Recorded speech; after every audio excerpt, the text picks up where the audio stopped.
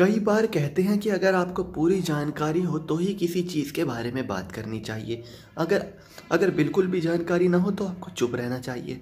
लेकिन अगर आधी जानकारी हो और आप उसमें चले गए हों तो आपको बिल्कुल भी बात नहीं करनी चाहिए, क्योंकि little knowledge is a dangerous thing वही हुआ फरहान अख्तर के साथ। फरहान अख्तर गए थे अगस्त क्रांति मैदान में।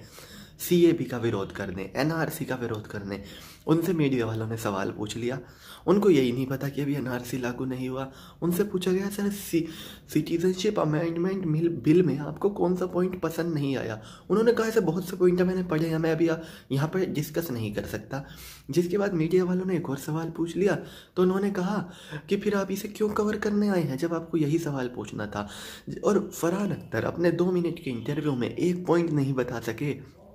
सिटीज़नशिप अमेंडमेंट बिल का, जिससे साफ़ पता चलता है उनको कुछ भी जानकारी नहीं थी। वो बस ट्रेंड के चक्कर में, सरकार के विरोध के चक्कर में आ गए अगस्त क्रांति मैदान में।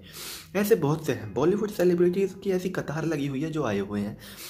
अनुराग कश्यप जी कह रही हैं कि पाकिस्तान के पाँच करोड़ लोगों को नागरिकता दे दी जाएगी, लेकिन अनुराग कश्यप को ये बात नहीं पता कि सरकार ने कहा है, इकतीस दिसंबर 2014 से पहले जो लोग ऑलरेडी आ चुके हैं, वो इंडिया में पहले से ही रह रहे हैं, उनको नागरिकता दी जाएगी।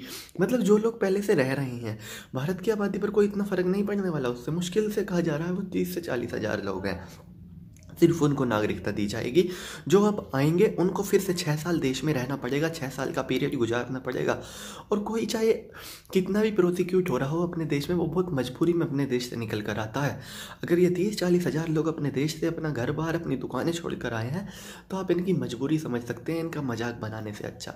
बॉलीवुड में तमाम सेलिब्रिटी कह रहे हैं कि वहाँ के पाँच करोड़ लोगों को तो मोदी सरकार नागरिकता दे देगी, लेकिन यहाँ के लोगों को भगा देगी।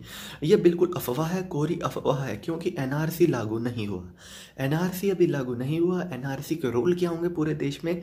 अभी वो भी सरकार ने डिस्क्लोज नहीं किया, जब सरकार डिस्क्लोज करेगी, आपको कागज़ बताएगी, ये ये कागज़ होने चाहिए, आपको वो कागज़ तैयार करने होंगे। और वो कागज़ बिल्कुल तैयार हो जाएँगे इसमें कोई शक की बात नहीं है। क्योंकि सरकार अभी ऐसा कहा जा रहा है जो उन्नीस सौ सतासी से भार, पहले भारत में पैदा हुआ है किसी के पिताजी भी पैदा हुए हैं तो वो भी भारतीय है। तो इसमें कोई डरने वाली बात नहीं। लेकिन बॉलीवुड के कुछ कलाकार पूरी तरह से लोगों के अंदर डर भरने का काम कर रहे हैं लोगों को डरा रहे हैं। सरकार को चाहिए कि ऐसे लोगों की ज़ुबान पर लगाम लगाया जाए जो, क्योंकि जो चीज़ें हैं भी नहीं, वो उनके बारे में लोगों को बताकर भड़का रहे हैं। और सबसे ज़्यादा अगर मानव के रूप में बम है तो यही है। कट्टरपंथी बन चुके हैं ये सरकार के खिलाफ लोगों को भड़काने में। और ऐसे कट्टरपंथियों को जवाब मिलना ही चाहिए। और सरकार की प्रतिबद्धता बनती है कि ऐसे लोगों को कुछ दिन के लिए डिटेंशन में रखा जाए। क्योंकि ये लोग जब तक ट्विटर पर गंद फैलाते रहेंगे, तब तक बाहर शांति नहीं होगी। तो चलिए दोस्तों, मैं राहुल चौधरी, फ़िलहाल इस वीडियो के लिए इतना ही। आगे भी इसी तरह की देश दुनिया, बॉलीवुड और मनोरंजन की तमाम खबरों के लिए बने रहिए मेरे साथ। जय माता दी।